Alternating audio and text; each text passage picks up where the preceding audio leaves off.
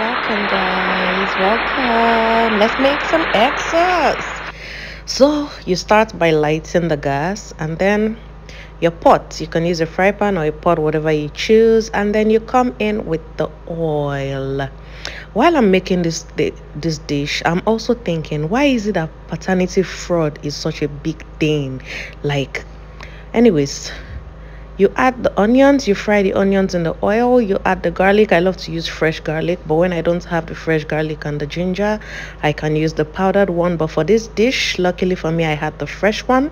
You let it fry you mix it you're frying it lightly. You're not letting it get burnt. Then you go in with the tomatoes tomato tomato tomato tomato potato potato. You go in with the potatoes and fry it. And uh, the next thing i think is the oil. Sorry not the oil the pepper the pepper. Now remember what i said about paternity fraud. I heard the story of uh, a man who is relocating with his children and then he had to conduct a dna test. And the results showed that he wasn't the father of the children hey. Anyways i'm adding curry. I have so many spices that i'm adding to it. So the next one is the thyme. Someone once commented on my use of spices saying it is too much but who am i? I think that was basil that i'm putting next then ground coriander. If you ask me why i'm putting it i honestly don't know. I just love to put it. This is parsley. I just love to put the spices and you know eh it's my food whole oregano.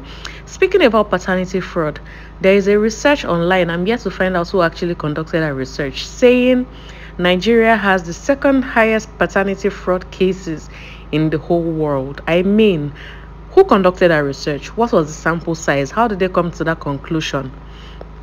Anyways, let's continue cooking kitchen gist is always sweet so you saw me adding the maggi and the salt and don't forget this is egg sauce with sausage. So here i am cutting the sausages. Like i would have said bite size but this is slightly small. So whatever size you want if you want to put in the whole sausage into it that is your business but this is the size i love to use. And then for the eggs now i don't just break everything into one bowl. I break it into a small bowl and then transfer it into the bigger bowl. The reason i do this is because in case one of the eggs is bad it doesn't just contaminate everything because I'm breaking everything directly into one bowl. You get so use your whisk and whisk, whisk, whisk, or you can use a fork. It doesn't matter. You can use your hand if you feel like it. That's your business. So you add it to the sauce that has been frying.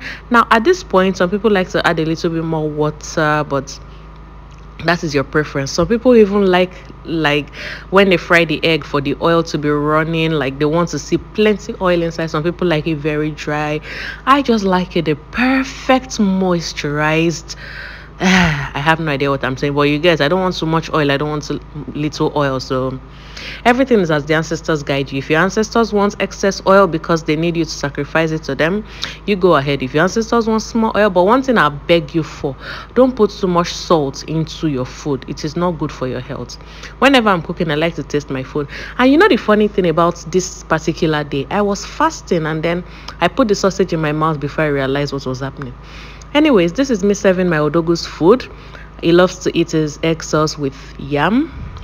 If you're Nigerian, I'm sure you're familiar with yam. No need for me to be explaining it. And then I'm serving the egg for the man who paid my bride price. say whatever you want to say. Patriarchy won this round. The man who paid my bride price I'm serving his food because who am I not to cook for my husband? Who am I? Now, this one you're saying is actually my own food, and this is me enjoying the food after breaking my fast. Wow. So, let me know what you think. Do you like the video? If you do like it, and don't forget to subscribe to my page.